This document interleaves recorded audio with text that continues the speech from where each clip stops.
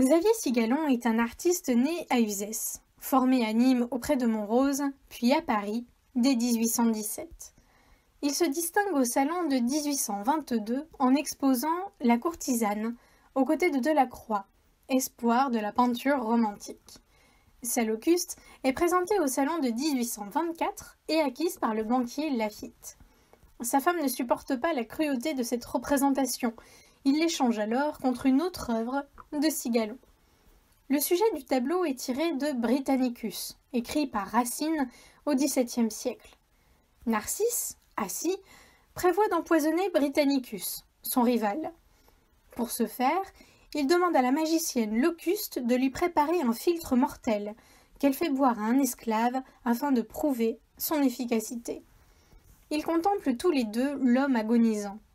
L'intensité dramatique du tableau est accentuée par la lumière qui éclaire le corps du souffrant.